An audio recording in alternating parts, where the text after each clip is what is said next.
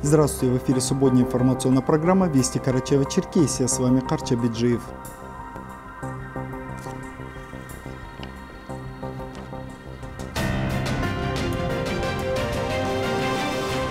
Возможность повысить квалификацию, поделиться педагогическим опытом. 19 гимназии Черкеска прошел семинар совещания. Вневедомственная охрана в нашей постоянной рубрике «В гостях у Росгвардии» Фатима Даурова расскажет о работе универсальных солдат. О том, как получается мед и почему пчеловодство является творческой профессией, о пчеловоде с большим стажем в нашей репортаже.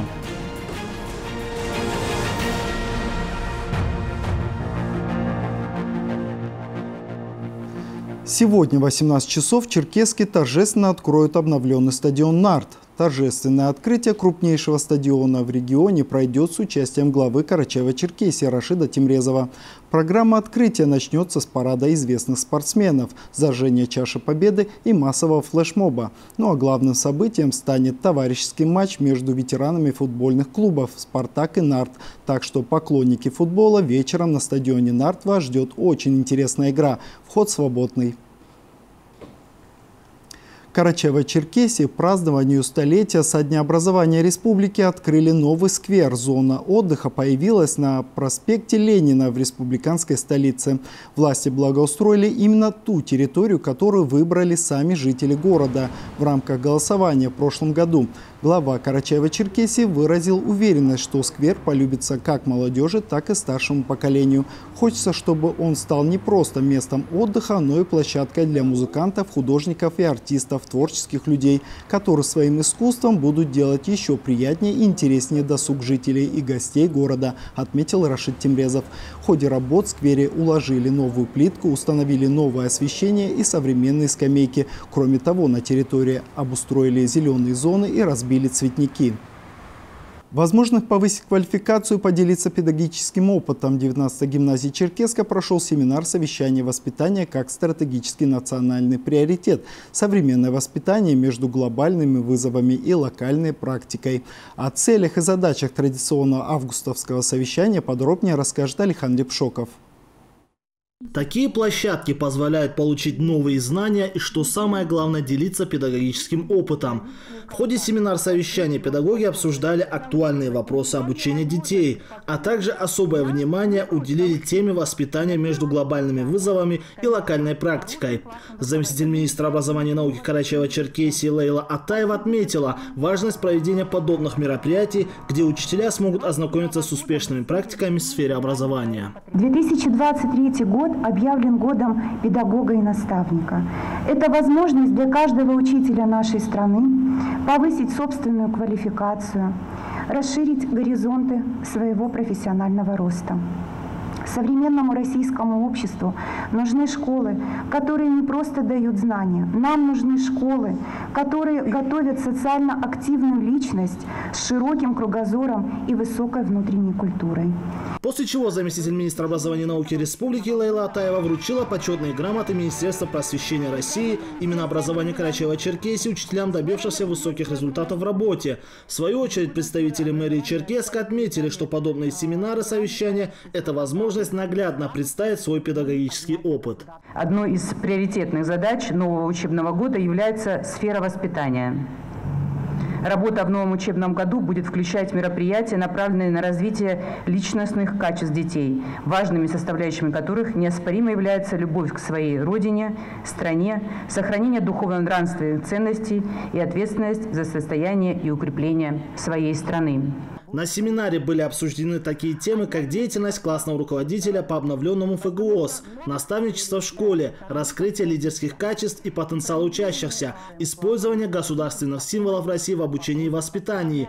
Здесь учителя смогут разработать новые методы в обучении детей, уверены представители отдела образования республиканской столицы. Развитие образования, патриотическое воспитание подрастающего поколения является важной составляющей вектора развития нашего государства. Воспитание все всесторонне развитых молодых людей во многом лежит на ваших плечах. Сегодня в ходе работы секции будут определены направления на следующий учебный год. Поставлены задачи для непрерывного профессионального развития педагогических работников. Также учителя выступили с различными докладами, связанными с деятельностью классного руководства, воспитанию детей со соблюдением современных требований обучения. Воспитательный аспект не может более рассматриваться в отрыве от деятельности обучения. История культур, достигших высокого уровня своего развития, показывает, что воспитание и обучение являли собой именно взаимосвязанный процесс. Поэтому государство заинтересовано в неуклонном развитии сферы образования, так как с этим напрямую связаны не только вопросы соблюдения прав и свобод человека и гражданина, но и успешное развитие современной экономики, социальное благополучие нации, а также состояние нашей национальной безопасности. После пленарной части работа семинар-совещания продолжилась на секционных площадках, где учителя обменялись методами и практиками успешного обучения. Алихан Лепшоков, Расул Бердиев, Вести Карачаева-Черкесия. Сейчас о погоде на выходные, а после мы продолжим выпуск.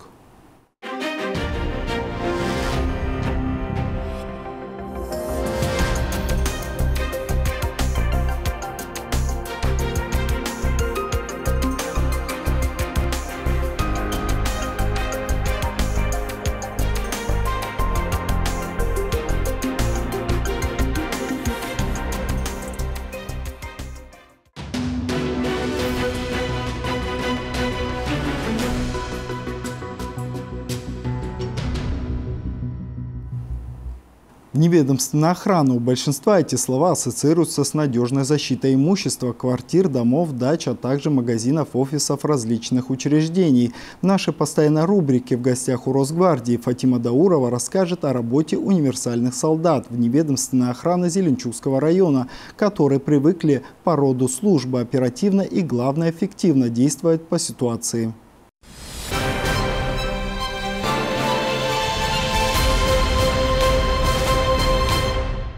В отделе вневедомственной охраны два движущих органа – Центр оперативного управления. Здесь принимают вызовы. И группы задержания, которые осуществляют патрулирование улиц. Перед тем, как заступить на смену, сотрудники группы получают личное табельное оружие – бронежилеты, резиновые дубинки, каски, наручники и проходят специальный инструктаж, в ходе которого зачитываются ориентировки и обозначаются преступления, произошедшие за последние сутки.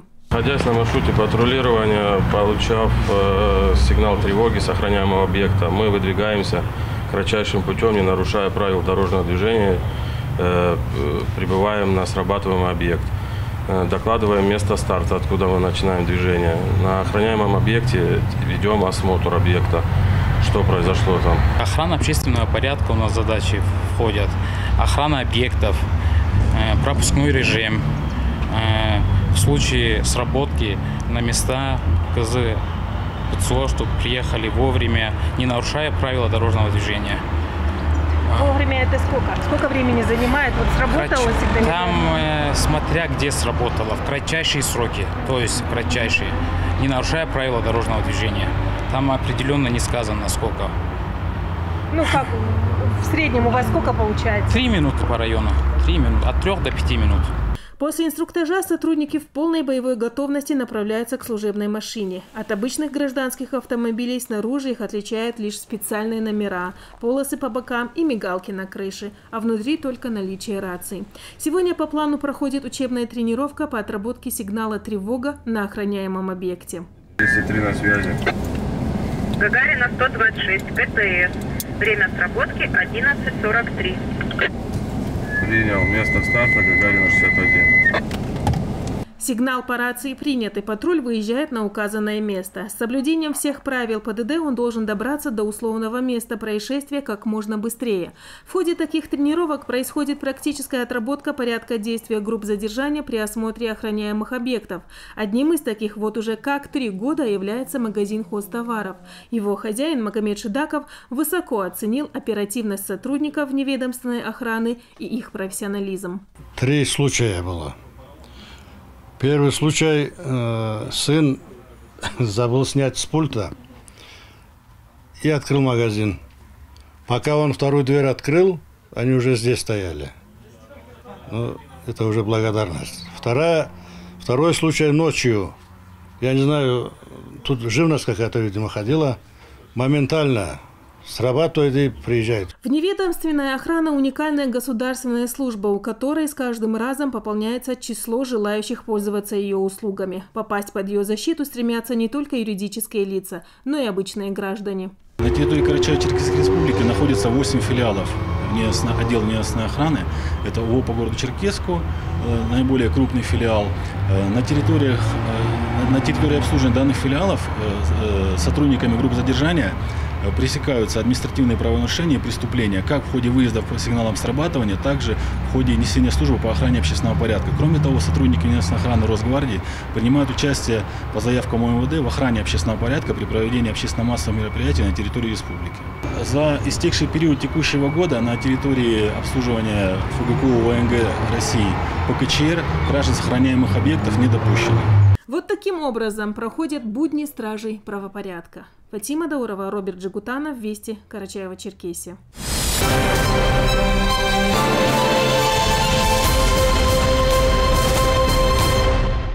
Любишь медок, люби холодок. Али Узденов из аула Псыш занимается пчеловодством на протяжении 30 лет. О том, как получается мед и почему пчеловодство является творческой профессией, расскажет Али Баташев.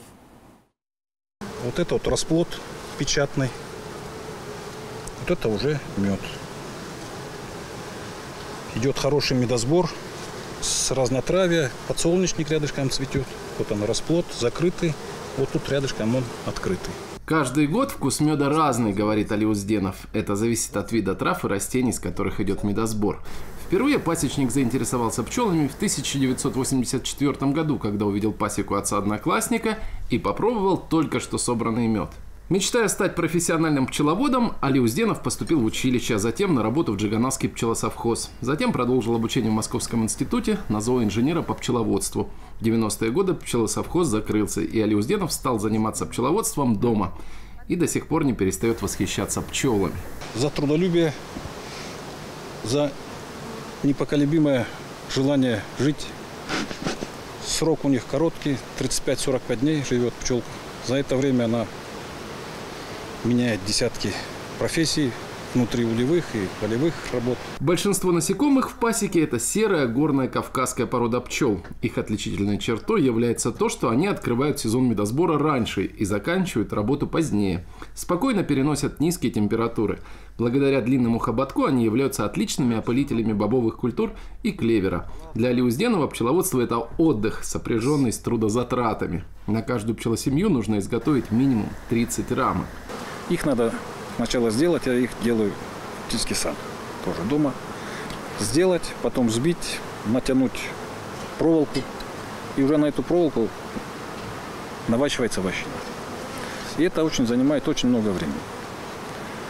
Вот если это зимой все это не подготовить, весной у тебя все время уходит на это. Если у тебя все готово, ты должен только заниматься за контролем медосбора, за пчелой и откачка. Очень тоже тяжелый труд. Пчеловод – творческая профессия. Достаточно просто посмотреть на вагон с встроенными ульями, чтобы в этом убедиться. Здесь обитает 36 пчелосемей, которые каждый год радуют хозяина ароматным медом. Али Баташев, Ольга Савенко, Расул Бердиев. Вести Карачаева-Черкесия. На этом субботний выпуск «Вестей» подошел к концу. Приятных выходных и до встречи.